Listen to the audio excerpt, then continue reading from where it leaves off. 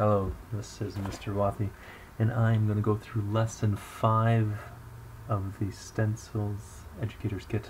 Lesson 5, we're looking at artificial intelligence. So we want our heroes to do more than just stand there and blink. Okay, so we want them to to have a little bit, uh, do something a little more exciting. So at the end of the, by the end of this uh, tutorial, you will know how to make your enemy follow you and avoid you and switch back and forth after so many seconds from one to the other. And you might think like, well, why would why would I want him to switch back and forth? Why would I want him to avoid me? Well, you know, think of some games, um, maybe he's low on, on HP and he needs to defend or something like that, or, or hide for a bit and then come out and attack you. So uh, there's different states that our enemies will be at and um, but first we want to just look at one at a time right before we get too ahead of ourselves. So artificial intelligence just really quickly what is that? Well we want to write some code so that we can um, our enemy or whoever we're writing our, this uh, artificial intelligence for can make some decisions based on um, the current inputs, pretty much. That's that's pretty much it, right? So in this example that we that we'll be creating, our current inputs is position of our actor, and he's making a decision on what what direction to move. Okay, so enough about that. Let's get moving. First thing we want to add, okay, add an enemy. We want to open up actor type called enemy and make it so he will kill the player when they're contacted. Awesome. Okay, so again, I, I we have behaviors here, and we can make a behavior here. Um, but since we only have two actor types right now, I'll follow the tutorial on it as it says to, to go make some events here. Okay, so I want to make an event. What kind of event do we want? Well, something that collision actor type collides with actor type. Okay, so we want self who's the enemy, right? We're under the enemy tab. When he hits, let's choose actor type. When he hits the hero, what do I want to happen? You want to kill him, all right? So actor properties, kill. Kill who? Not self. The actor type. All right. So this one, first actor refers to self. Hero is actor type. Okay. Pretty straightforward. Let's test the game. And while we're doing that, we'll be um, taking a look at what else we need to do here. Okay, so next we want to follow the leader. So we want to make the enemy follow the hero. Okay, so uh, first let's just test this. We run over to our enemy and bam, dead. Awesome, beautiful. Exactly what we wanted. Love it. Okay, so here, hints, it says use the push towards XY direction block and push sharply at force of 5. And then a couple little you know questions here. Uh, by the way, this PDF and the project files that you'll need, you can download just below on the link there um, in the comments of this video. Check it out. Okay, so it also says, you know what, what will you need for this? You're going to probably need the, the hero's position. And how do we communicate to the enemy what the hero's position is? Well, the hint here, use game attributes. Okay. So, what do I want to happen? I want, what kind of event do I want? That's the first thing you got to think. Well, I want something that's always updating. When updating. That, means it's always happening. Because I want them to always be following. And it said we need to use the push actor gently. Again, if, if you didn't know it was under motion, uh, you just type it up right here. So push, and look at that. It comes right up. That's great. Okay, so we want to use this. Push self, because we're under enemy, not gently, but sharply force of 5. So we have to figure out what xy direction do we want. Well, we know it's not just going to be a plain old number. It's going to be changing all the time relative to the enemy's position relative to the hero's position. So we wanted us to make what? We want us to make some game attributes. Okay? So I'm going to go to game attribute, go create new attribute, and let's call it x position. Position. I could spell position, that'd be nice. Position, there we go. Of hero. number, default zero, that looks great. Try it again, create new, we want the Y. Number, there we go, that looks good. Okay, we have it. So, before I do anything here in the enemy events, I need to go to the hero event and assign or set the those um, those different attributes I just made. I need I need to give them some values because right now they're sitting at zero. And they're not going to change unless I tell them to change. So add events. I want something that's that's when updating that's always happening. So I want to set give a value to these game attributes. What do I want the value to be? Well, I want the x position of the hero to be, well, the x position of the hero. Right there. I want the y to be the y. There's a little drop down. We choose the y. And now, whatever position, let's just open up the scene so we get a nice little visual. So right now, my heroes, if you look at the xy on the bottom, bottom right, my xy is something like, know, like 60 or 70 by 70, give or take. So he's at 70 by 70. Uh, but you know he'll move around, and that updates for you. That updates those game attributes, which is great. I'm done with my hero. Don't need him anymore. Let's close him down. Alright, so I'm looking at my enemy. So I have these two number values. Again, these are just straight up numbers. Again, at this position, what are they? Well, it's around 125 or 91 for X, 125 for Y. So those are just straight up numbers. So if I put these in here, what do you think is going to happen? Think about it. Click that test button, button and think what's going to happen. Again, they're just numbers. They don't tell us anything. We haven't put in anything about the position of the, the enemy. So, yep, there are some there are some error, errors in what we're doing. He just buggers off to the, the bottom right corner. So let's pull those out what we need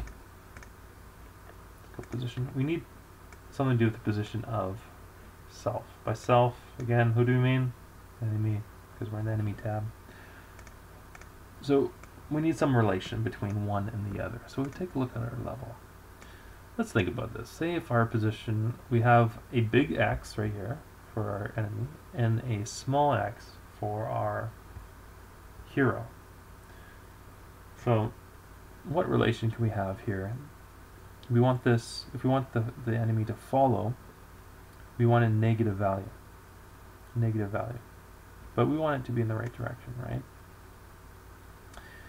Because as he gets closer, well, you know, we, we, yeah, we want we want that value to change.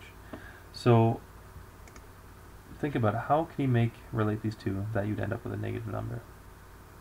You have a big value here, little value there. Well, maybe you want to minus, subtract the enemy's value, uh, position by the heroes. Okay. So we have enemies position. Just big. No, other way around. Okay. Maybe want to subtract the hero's position by the enemy. Sorry about that. Got that backwards. Again, it's all about it's all about trying it out, right? Maybe you want to try out the other way first. If you don't believe me, try it out and see what you got. Okay, so we have x position minus x of enemies. We have x position here. It's what? It's like 90 minus uh, you know 400. You end up with uh, negative 310 or something like that. So it's negative. That's what you want. Do, do, do, so you think, yeah, what position is the enemy relative, sorry, what position is the hero, or you, relative to the enemy? And we look here and it works, uh, that works beautifully. It works beautifully. So he wants to move into that relative di direction, right? So you see he moves a slightly, slightly when uh, I'm slightly above him, but when I'm further down, move a little further.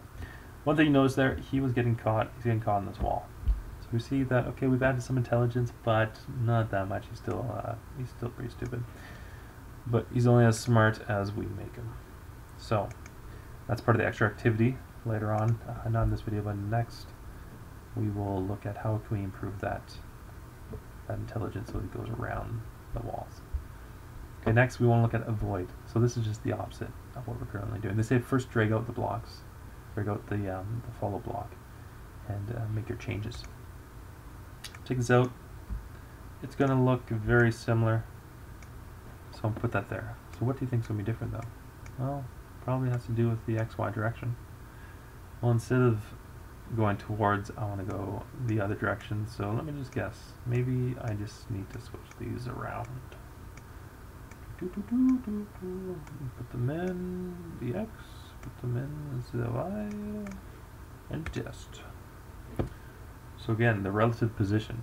You know, say, I want to know what the relative position is. And uh, I want to get out. I want to go in the other direction. So we see right there, yes, that's good. Our enemy, he's moving around. That is great. That is great. Uh, one thing you might notice is that it's easy for him to get stuck in corners, and now there's no way out. So again, that's not very smart. If he's trying to avoid you and he just buggers off to the corner, oh, it's just easy to attack him there. Too bad I die. Okay, so that is great. That was that was that was easy. Last part of our activity is to look at state switching. So state, what I mean by state? Well, I'm just I just mean that uh, we have two states. We have avoid and we have follow. We have avoid, we have follow. So I'll just put the avoid on the bottom, follow up top right there so it's nice and clear. And again, as I just showed you, we have animations avoid and follow. Great. So let's take a look at our our instructions here. So it says it wants to switch every 10 seconds. Uh, you'll want to use the switch animation block and the current animation block. Okay, so they want us to use these different animations here uh, for each of the different states, just so it gives it gives the uh, the player different visual when you, you're you're going one state to the other, which is good. Okay, uh, I think that's about it that we need from that. So switch animation, current animation. Um, if you don't know where it is, well, what do you do? You search current animation. There you go. And if you want to find in the palette, you can right click and go find in palette and it'll actually find it. Okay, it's under actor, it's under draw, and it made it, it was flashing there for you. That's great. And look at that, switch animations right underneath. That is beautiful. So, what do I want to happen? Well, hmm, we know that we want to switch every 10 seconds. So maybe let's tackle that first. So that means we probably need to add another event, time one, every 10, every n seconds. What is n going to be? It's going to be 10. And again, we're going to need this guy. We're going to probably need that guy. And I'm going to use, guess we're going to need an if. Right? So after 10 seconds, if um, your current animation is equal to if current animation is equal to to what? Mm, follow. Sure, let's use this one because that's default. Doo -doo -doo. Let's go here. If current animation is equal to follow, and you just type it, you just type it in, right? There's no way you can't drop down. I don't think you can drop down here and pick something. Can you? Animation? No, you can't, unfortunately. So type in which whichever one you, you want. If it equals to follow, then switch animation to what? Well, not to follow, to avoid. Alright, you just want to switch to the other one. And again, make sure you get your spelling right. If you spell it incorrectly, it will not work. And well, guess what we have on the bottom there? Well, we're going to use an otherwise, and I'm just going to hold an Alt, click on this, copy it down, and switch to, switch to follow. So what does it say? Do every 10 seconds. So every 10 seconds, if my current animation is follow, so I currently look like this guy, switch your animation to avoid, just the blue guy. Otherwise. So if I, that means, otherwise means if this is false. So if my cur current animation is actually avoid, not follow, then I'm going to jump, the code's going to jump down here, skip this part, jump down here, and switch you to back to follow. Great. So, you know, it's always good to label your events and everything here. So I'm going to call this uh, switch state. Enter. And this one here, just call this polygon. Call this guy um, follow slash ooh French. Follow there we go. Follow slash avoid. Okay. So my follow slash avoid, I want to use the if as well because I I need to. It all depends on what state I am in. So I'm going to use that the same thing equals. So current current animation of self of the enemy is let's start with follow. Ooh, make sure you spell that right. I want to use this code. That was a follow code, if I remember correctly. And then otherwise, use that other code. I actually didn't need to use this because I'm not switching in this follow avoid state. So let's test this out. So again, I did a lot all at once before testing. I highly suggest that you test things out um, even before doing this code. Test out if this is working, you know. So you can count down to 10 seconds. Um, and if you look here, he's actually avoiding me. So you see that I've got those mixed up. And there he is. Again, he's also avoiding me. So something is wacky. Let's take a look. So he is switching. Right, I was going to say, sometimes you want to lower this down so that uh, I'm going to do three seconds. That way I don't have to wait so long when I'm testing. Credit animation equals follow. Push self gently. X of hero minus X of self. Y position of hero minus Y of self. Otherwise. Doo -doo. So I am a little confused because these are opposite. So let's just test this out one more time. And then might just need to take a closer look. Let's see. Okay, yeah, he's running away from me. But which is funny because he runs away from me there. So he runs away from me both. So, so silly. So silly. Okay. Uh, just one second. Okay, so what I'm going to do, we see that he's always running away. So that means we're stuck on this otherwise. That means this is always false. And for some reason, I think maybe, I mean, it looks like I spelled it right. Yeah, I know I spelled follow. What I'm going to do here, I'm just going to double click because I know this is working. This is working because the animation is changing. Double click there, go Control C for copy. Go to this one here, double click, Control V for paste.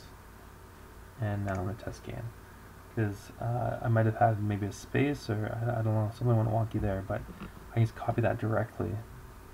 And uh, I'll know that it should work. Oh, there we go. Okay, so now it's working. Now it's working. Now he's going to avoid me. He's going to hide off to the corner. Now he's going to chase me. He's going to get stuck behind a wall. Now he's going to avoid me. Okay, great. That's enough of that. Alright, so thank you for watching. We've done the basics of some artificial intelligence uh, coding for some enemies. And if you, uh, you know, I suggest that you continue on with some future videos. We'll be looking at these extra activities, how to mirror, make your enemy mirror the hero. So if the hero moves left, the enemy moves right. Exciting. So exciting. Okay, and then the next two activities is this improving on what we did before. Bug repellent, that's just so uh, our enemy doesn't get caught in the corners. Smart enemy, that's just so that he goes around those walls and doesn't get stuck there like an idiot. Okay, so thanks for watching this video. Remember, artificial intelligence, it's, uh, our guys only as, as intelligent as we make them to be. Alright, thanks. Cheers.